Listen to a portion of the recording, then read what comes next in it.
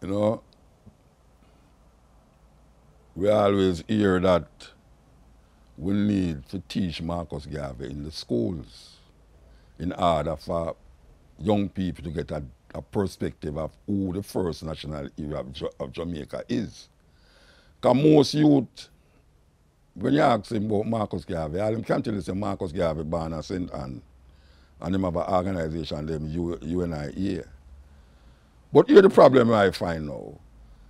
You can't teach a subject in school when you don't have no teacher to teach it. Because the teacher them is guilty of not knowing anything about Marcus Garvey. And I proved that just the other day, attending a school up at Mona. Them having a Africa Day up there. And I stand in front of the teachers and the students them and I say, I want you to tell me what the UNIA mean. You know, Mr. The teacher them do? Them draw for them cell phone. I look for the answer in them cell phone. And right away, I said, see it there? That me I try bring cross, you know. You see, if you're going on the phone for go look for UNIA, which you should just know that half your head, it means say, you're not ready yet to tell the people them about Marcus Garvey. You have to go get an understanding and an education about Marcus Garvey.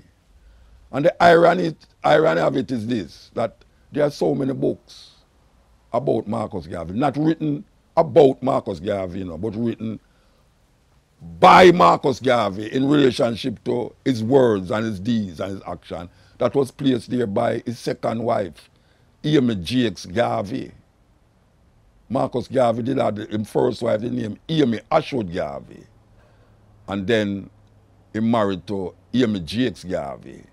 And it is Amy Jacques Garvey who decided that she's going to immortalize his words in a book named The Philosophy and Opinions of Marcus Garvey, book one and book two. And I would recommend that book to anyone who is listening to me right now and watching this. That you have not experienced the teachings of Marcus Garvey until you have read the philosophy and opinions of Marcus Garvey. Because in it, you will find out what the man have in his head and what he used to do as a liberator, as the greatest African man who passed through this earth here. We have 20 million people that follow him and how much Liberty Hall, UNIA headquarters in all, including Cuba. Marcus Garvey need to be understood not by born St. Ann and him UNIA because that is not saying nothing about Marcus Garvey. We're talking about what the man said, what him stand for. When him say Africa for Africans, those at home, those abroad, what they mean. When him say if you have no confidence in yourself, you are twice defeated in the race of life. But with confidence you have won even before you have started. When him say emancipate yourself from mental slavery, them can free your body, but none but we can free our mind. And Bob Marley come immortalize those words. We need to understand how important it is to African people right now, especially in the Western world. Yeah, what Marcus Garvey stood for.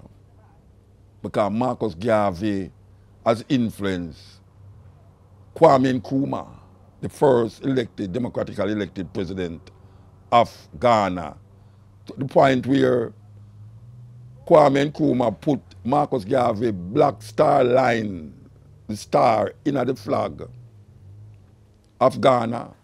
He has influenced Jomo Kenyatta, the man where them call the burning spear, where the artist Winston Rodney take him name from, the burning spear, Jomo Kenyatta, Nelson Mandela, and so much more. He has influence. Yet still in the land of his birth, the land where them declare him the first national hero. It is not fitting to put him in school because even the teachers don't know what Marcus Garvey stands for. As a matter of fact, most of them will fight against Marcus Garvey.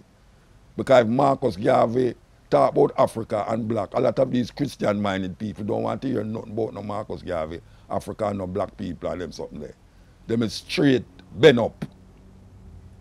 Marcus Garvey is very important to our future development as African people. Africa for Africans, those at home and those abroad. Out. Well, let me hear you say mountain.